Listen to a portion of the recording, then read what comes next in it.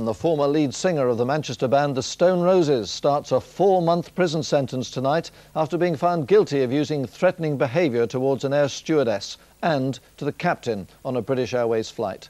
Christine McGauley reports. The 35-year-old singer who'd been filming a television show in France was on the night flight from Paris to Manchester when the incident happened. He was arrested when the flight landed.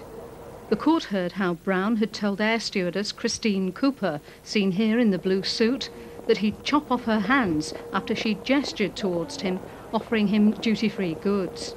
She'd apologised, but he'd continued to be aggressive and threatened her. Later, he'd approached the flight deck, banging on the door. Tonight, British Airways welcomed the verdict. Abusive behaviour, especially towards cabin crew, is unacceptable. The cabin crew are on board the aircraft for the safety of, of all members, of everybody on the aeroplane.